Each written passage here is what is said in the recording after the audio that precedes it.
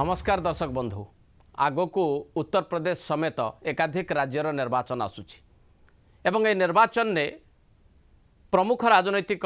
ଦଳଗୁଡ଼ିକୁ ଯଦି ଆପଣ ଲକ୍ଷ୍ୟ କରନ୍ତି ବିଜେପି କୁହନ୍ତୁ କଂଗ୍ରେସ କୁହନ୍ତୁ ବା ଯେଉଁ କ୍ଷେତ୍ରୀୟ ରାଜନୈତିକ ଦଳଗୁଡ଼ିକ ନିର୍ବାଚନରେ ପ୍ରତିଦ୍ୱନ୍ଦିତା କରୁଛନ୍ତି ସେମାନଙ୍କର ଆଧାରରେ ଗୋଟେ ବଡ଼ ପରିବର୍ତ୍ତନ ଦେଖିବାକୁ ମିଳୁଛି। ବିଶେଷ କରିକି জাতি ধর্মকু নেইকি ভোট মাগিবা সহিত মহিলা ভোটরকু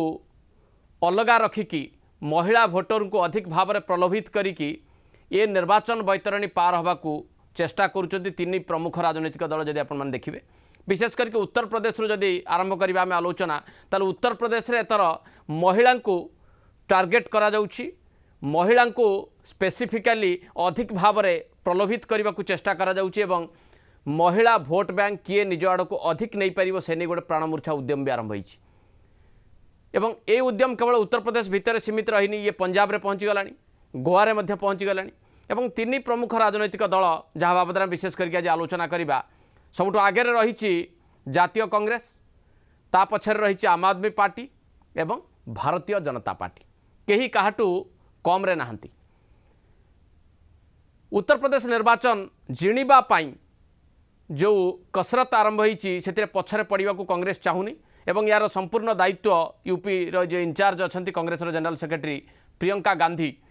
ସେ ପୁରାପୁରି ଭାବରେ ମହିଳା କୈନ୍ଦ୍ରିକ ଏ ନିର୍ବାଚନ ପ୍ରଚାରକୁ ସେ ଆରମ୍ଭ କରିଛନ୍ତି ଏବଂ ବଡ଼ ଘୋଷଣାଟିଏ ପୁଣି ସେ କରିଛନ୍ତି ବା ମହିଳାଙ୍କୁ ନେଇକି ଗୋଟେ ସ୍ୱତନ୍ତ୍ର ମ୍ୟାନିଫେଷ୍ଟୋ ମଧ୍ୟ ଆଣିଛନ୍ତି ସେ ମ୍ୟାନିଫେଷ୍ଟୋର ପ୍ରମୁଖତା ହେଉଛି ଯେ ମହିଳାମାନଙ୍କୁ ଚାଳିଶ ପ୍ରତିଶତ সংরক্ষণ দিয়াযিব চাকরিরে সরকারি চাকরিরে যদি কংগ্রেস ক্ষমতাকু আসে। পঁচিশ প্রতিশত সংরক্ষণ দিয়াযিব কেবল পুলিশ চাকরিরে যদি কংগ্রেস ক্ষমতাকু উত্তরপ্রদেশে আসে এবং পূর্বর আপনার জাঁতি যে চাশ প্রতিশত মহিলা টিকেট দেওয়া কথা কংগ্রেস ঘোষণা করে বা যে রয়েছেন কংগ্রেসর জেনারেল সেক্রেটারি বা ইউপি ইনচার্জ প্রিয়ঙ্কা গান্ধী কথা উত্তরপ্রদেশে প্রথমে ঘোষণা করি নজরক আসি যে মহিলা ভোট ব্যাঙ্ক কংগ্রেস নেওয়া চাহুচি এবং রীতিমত ভাবে উদ্যম আরম্ভ করেছে বা তার ব্লু প্রিন্ট তৈরি করেছে একথা স্পষ্ট হয়ে যাই সেইদিনঠু যেদিন ঘোষণা করে প্রিয়ঙ্কা গান্ধী পরবর্তী পর্যায়ে ঘোষণার তালিকা মধ্যে কংগ্রেস লম্বাই চালিছি বা প্রিয়ঙ্কা গান্ধী গোটিয়ে পরে গোটিয়ে তাঙ্ক ম্যানিফেস্টোরে স্থান দিয়েছেন পিডিএস সপ্রে পচাশ প্রতিশত মহিলা সুযোগ দিয়া দিয়াযিব প্লস টু ছাত্রী মাগণার মোবাইল ফোন দিয়া দিয়াযিব গ্রাজুয়েসন পাস করে মহিলা ইলেকট্রিক স্কুটর দিয়া এবং ফ্রি ট্রাভেল করা স্টেট ট্রান্সপোর্টের ব্যবস্থা করা ফিমেল স্টুডেন্টকু ফ্রি ওয়াইফাই প্রদান করা এবং তিনোটি ফ্রি এলপিজি সিলিন্ডর মধ্য মহিলাঙ্কু যোগাই দিয়া এবং সবুঠু আউ টিকে আগুক যাইকি প্রিয়ঙ্কা গান্ধী কেছেন যে প্রথম তালিকাটি শহে জনিয়া তালিকাটি উত্তরপ্রদেশ নির্বাচন বিধানসভা নির্বাচন পাই প্রস্তুত হচ্ছে প্রার্থী তালিকা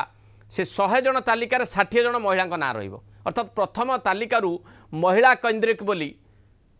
ସ୍ପଷ୍ଟ କରିବାକୁ ଚାହୁଁଛନ୍ତି ପ୍ରିୟଙ୍କା ଗାନ୍ଧୀ ତେଣୁ ଉତ୍ତରପ୍ରଦେଶ ନିର୍ବାଚନରେ ମହିଳା ଭୋଟରଙ୍କୁ ଏନକାସ୍ କରିବା ପାଇଁ କଂଗ୍ରେସର ଇଏ ବିଧିବଦ୍ଧ ପ୍ରୟାସ ତେଣୁ ମୁଁ ଯେଉଁ କଥାଟି କହୁଥିଲି ଯେ ପିଙ୍କ କଲର୍ ଉପରେ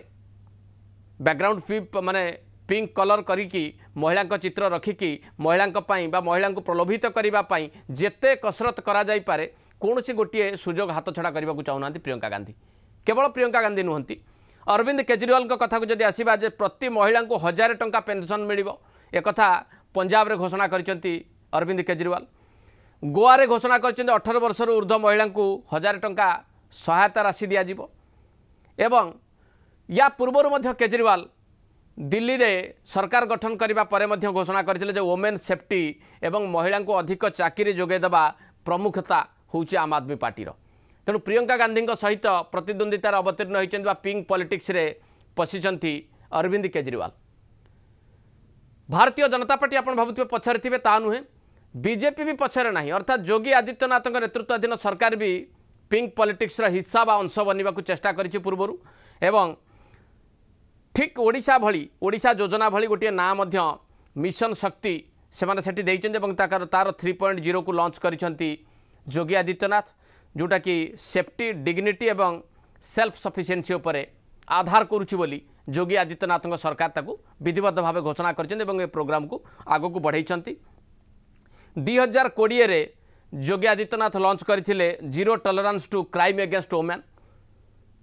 आउ मु क्राइम एगेन्स्ट ओमेन तथ्य आज देवाक चाहूनी आपको भारक्रांत करी ना आप जानते Uttar Pradesh crime against women Kaut रही महिला मैंने के सुरक्षित उत्तर प्रदेश में यह बाबद अधिक आदौ कहार आवश्यकता ना आपण मूँ तेणु पिंक पलिटिक्सर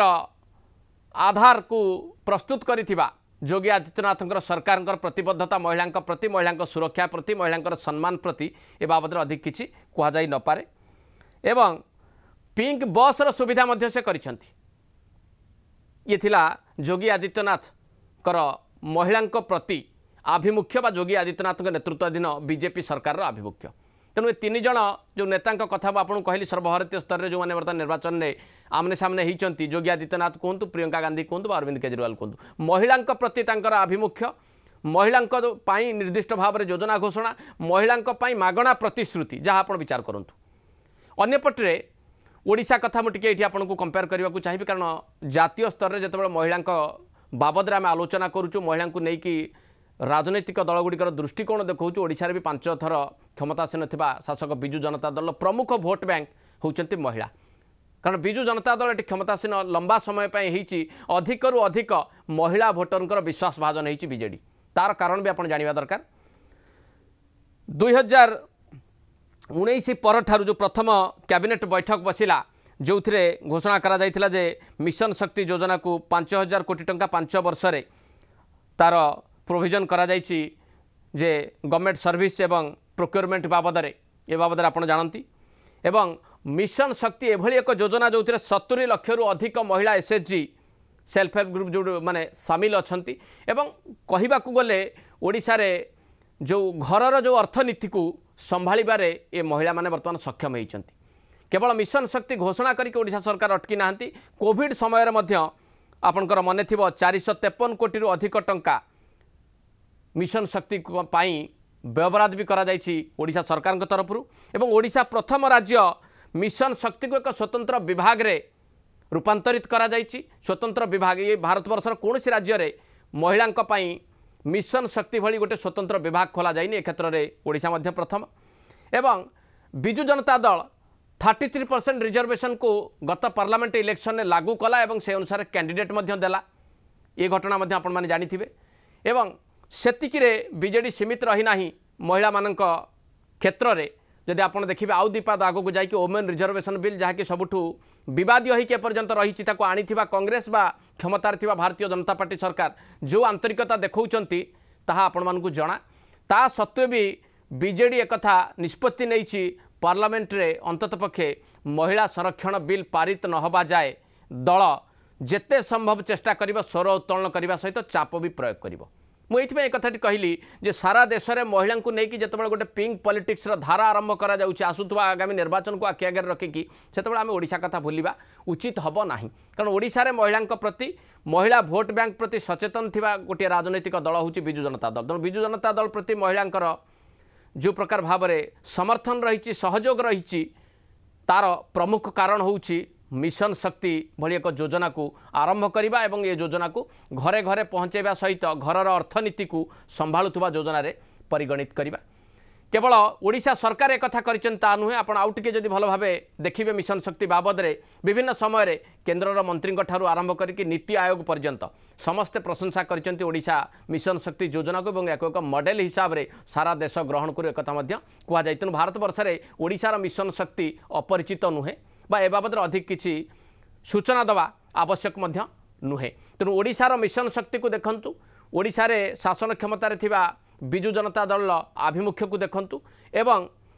ପିଙ୍କ ପଲିଟିକ୍ସରେ ନୂଆ କରି ପାଦ ଥାପୁଥିବା ନେତାଙ୍କର ପ୍ରତିଶ୍ରୁତି ନେତାଙ୍କର କଥା ଏବଂ ମହିଳାଙ୍କ ପ୍ରତି ପ୍ରତିବଦ୍ଧତାକୁ ଆପଣ ତୁଳନା କରନ୍ତୁ। ଏବଂ ଏ ନିଷ୍କର୍ଷରେ ମୁଁ ଭାବୁଛି ଆପଣ ପହଞ୍ଚିବେ ଯେ ସତରେ ଏବେ ରାଜନୈତିକ ଦଳଗୁଡ଼ିକ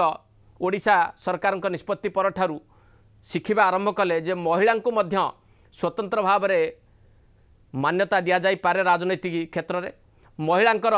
ସଂରକ୍ଷଣ ପାଇଁ ମଧ୍ୟ ପଛଘୁଞ୍ଚା ଦେଉଥିବା ରାଜନୈତିକ ଦଳମାନେ ଏବେ ଆଗକୁ ଆସିବାକୁ ବାଧ୍ୟ ହେଉଛନ୍ତି ଏବଂ ବିଶେଷ କରିକି ମହିଳାଙ୍କର ଅର୍ଥନୈତିକ ଏବଂ ସାମଗ୍ରିକ ବିକାଶ ନ କଲେ ରାଜନୈତିକ ଦଳଗୁଡ଼ିକ ଅନ୍ତତଃ ପକ୍ଷେ ରାଜନୀତି କ୍ଷେତ୍ରରେ ବା ସରକାର ଗଠନ ପ୍ରକ୍ରିୟାରେ ମଧ୍ୟ ବାଧା ସେମାନଙ୍କ ପାଇଁ ଉପୁଜିପାରେ। ଏହାର ଆଶଙ୍କା କରିକି ଏଇ ଯେଉଁ ପିଙ୍କ ପଲିଟିକ୍ସର ଧାରା ବର୍ତ୍ତମାନ ଆରମ୍ଭ ହୋଇଛି। ଏଇଠି ଶେଷ କରିବା ଆଜିର ପଲ୍ସ ଟୁଡେକୁ ନମସ୍କାର